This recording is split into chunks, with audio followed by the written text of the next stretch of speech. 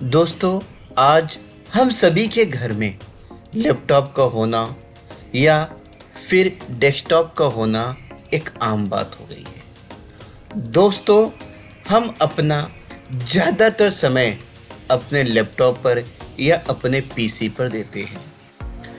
यदि वही पीसी, वही लैपटॉप अगर स्लो काम करे बीच बीच में हैंग हो जाए तो हमें बहुत परेशानी होती है। दोस्तों, अब आपकी सभी परेशानी मैं दूर करने के लिए आया हूँ। आपका पीसी स्मूथ चले फास्ट चले और पीसी में आने वाले सभी प्रॉब्लम का सलूशन मिलेगा आपको सिर्फ़ ज्ञानदीप चैनल पर। दोस्तों, अब तक आपने सब्सक्राइब नहीं किया है तो जल्द से जल्द सब्सक्राइब कर दें ताकि आपको पीसी के रिगार्डिंग कोई भी परेशानी, कोई भी प्रॉब्लम कोई भी इशू हो, उसका सलूशन आपको तुरंत मिल सके। दोस्तों, क्या आप काम करते करते आपका लैपटॉप पीसी हैंग हो जाता है? क्या आप स्टार्ट करते हो और उसको स्टार्ट होने में काफ़ी लंबा समय लगता है? तो ये सभी प्रॉब्लम का सलूशन आज आपको सिर्फ़ मेरे सिर्फ़ मेरे ही वीडियो पर मिलने वाला है। तो दोस्तों, अंत तक हमारे साथ बने रहिए ताकि आपको पीसी के रिगार्डिंग लैपटॉप के रिगार्डिंग कोई भी प्रॉब्लम कोई भी परेशानी अगर होती है तो आपको पूरा सलूशन मेरे द्वारा आपको मिलेगा। आप मुझे कमेंट करके ही बता सकते हैं कि आपके पीसी में क्या प्रॉब्लम है, क्या क्या इशू है। उसका सलूशन मैं आपको जल्द से जल्द अपने नए वीडियो में देने का प्रयास करूँगा मैं। सब्सक्राइब करिए ज्ञानदेव यूट्यूब चैनल को और इस बेल आइकन पर क्लिक करके आल वाला ऑप्शन सेलेक्ट कर लीजिए ताकि आपको सभी प्रकार के एजुकेशनल वीडियो का नोटिफिकेशन मिल सके सबसे पहले। दोस्तों, स्क्रीन पर जो आपको लैपटॉप अभी दिखाई दे रहा है, ये कस्टमर का लैपटॉप है, जिसे लिए मात्र अभी एक साल ही हुआ है और इसके जो है कीबोर्ड में भी प्रॉब्लम है। ये I three fourth generation Dell Vostro है और इसका सिस्टम बहुत स्लो चल रहा था। तो मैंने इसे ओपन करने के बाद सारी जो है इसके प्रॉब्लम को मैंने समझा। समझने के बाद मैंने पहले इसको चार्जिंग लगाया क्योंकि इसका चार्ज काफ़ी डाउन था। और चालू करने के बाद अब मैंने सोचा कि पहले इसे जो है इसमें विंडो टेन डालकर देखते हैं। विंडो टेन डालने के लिए मैंने अपना विंडो टेन का बूटिंग डिवाइस पेन ड्राइव मैंने लैपटॉप में लगाया और लैपटॉप में लगाने के बाद पावर ऑन किया।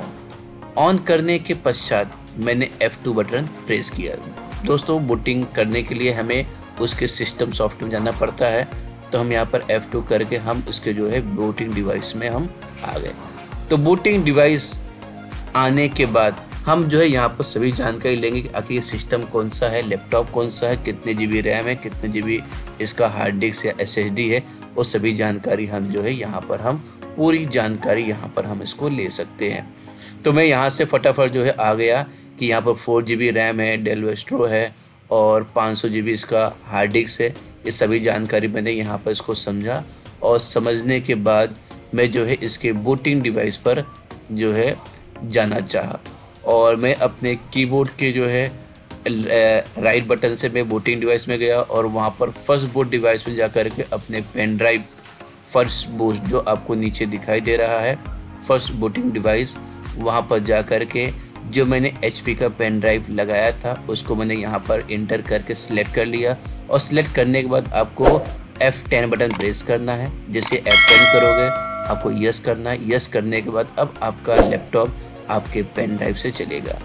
अब यहाँ पर आपको इंस्टॉलेशन पूछा है, आपको यस करना है इंस्टॉल कर देना है। इंस्टॉल करने के बाद यहाँ पर आपको कुछ टर्म और लाइसेंस वगैरह पूछा जाएगा। उसको एग्री करने के बाद यहाँ से आपको कौन सा वर्जन आपको चाहिए? तो यहाँ पर अब मैंने जो है विंडो 10 प्रो मैंने जो है ये सिलेक्ट किया है। सिलेक्ट करने के बाद टर्म और कंडीशन यहाँ पर आपको पूछा गया है और यहाँ पर आपको कस्टम इंस्टॉलेशन में जाना है।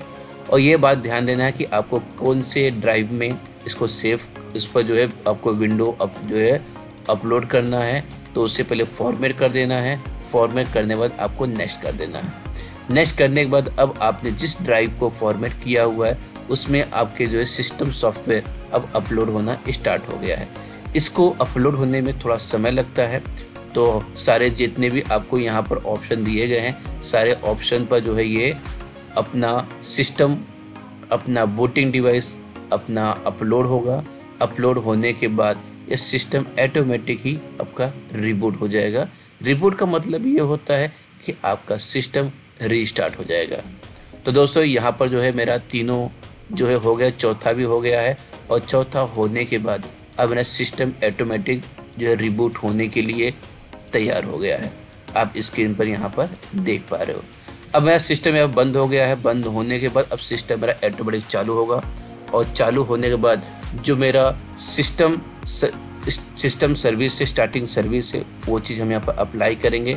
तो चलिए जो है अब उस चीज़ के लिए हम जो है, तैयार होते हैं रेडी हो जाते हैं। तो दोस्तों, यहाँ पर जो है, मेरा सिस्टम फटाफट अब जो है अपलोड हो रहा है। और अपलोड होने के बाद यहाँ पर कुछ आपसे, कुछ राइट्स के लिए पूछा जाता है। कुछ आपसे जो है टर्म और कंडीशन आपको, कुछ कंडीशन पूछा जाता है। आपको वो सारी कंडीशन को जो है, अपने जो है, उचित अनुसार आपको सिलेक्ट कर लेना। जैसे कि पूरे मुझे लैंग्वेज इंग्लिश चाहिए तो मैंने इंग्लिश यहाँ पर ले लिया है। और मुझे इंग्लिश में कौन सी इंडियन इंडियन चाहिए? कीबोर्ड मुझे इंडियन चाहिए तो इंडियन रख लिया है। यहाँ पर ये नहीं चाहिए तो आप इसकी भी आप कर सकते हो। उसके बाद आपको यहाँ पर इंटरनेट कनेक्शन पूछ रहा है। अगर आपके पास इंटरनेट कनेक्शन आप ले सकते हो, नहीं तो आप जो है उसको हटा भी सकते हो। तो यहाँ से मैंने जो है इंटरनेट कनेक्शन हटाकर मैं नॉर्मल जैसे कि मैंने बताया कीबोर्ड प्रॉब्लम था, यहाँ पर ऑटोमेटिक पी प्रेस होते जा रहा है। तो मैंने एक्चुअली इसका नाम पी जितने पी आ रहे हैं, वही वही मैंने नाम रखा। और नाम रखने के बाद फिर ऑटोमेटिक पी पी करके जो है वो पासवर्ड भी ले रहा है।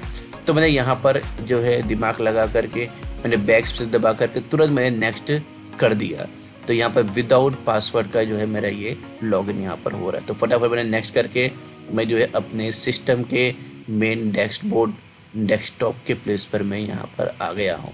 आप यहाँ पर देख सकते हो, थोड़ा सा वक्त लगता है, थोड़ा समय लगता है, हमें थोड़ा सा वेट कर लेना है। तो अपना ये रिबूट सिस्टम चलता रहता है तो थोड़ा सा इंतज़ार करना बहुत ज़रूरी होता है। तो दोस्तों, यहाँ पर आप देख सकते हो कि यहाँ पर जो फटाफट मेरा यहाँ पर जो है ऑलमोस्ट हो चुका है और मैं अपने सिस्टम के डैशबोर्ड पर अब आ चुका हूँ। डैशबोर्ड पे आने के बाद अब मैं कीबोर्ड को सही करूँगा मैं कि कीबोर्ड कीबोर्ड में प्रॉब्लम क्या है, क्यों ऐसा हो रहा है। तो मैंने कीबोर्ड ओपन किया ओपन करने के बाद मैंने उसमें बहुत सारे कचरे थे उसे साफ़ किया और पी बटन के कुछ जो है भाग वहाँ पर दब गए थे, उसको मैंने थोड़ा सा सही किया ताकि वो जो है चल सके। क्योंकि नया पी कीबोर्ड लेने पर आपको हज़ार, दो हज़ार रुपये जो है स्पेंड करने पड़ते, खर्चा करने पड़ते हैं।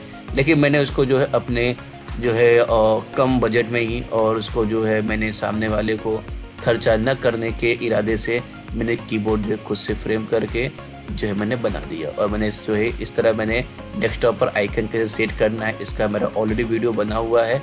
अगर आपको उसको सीखना है तो आप मेरे जो है पिछले वीडियो में आप उसको देख कर सीख सकते आशा करता हूँ कि आप ये समझ गए होंगे कि किस तरह पीसी को फास्ट और स्मूथ आप चला सकते हो। तो अब अगले धन्यवाद। Thank you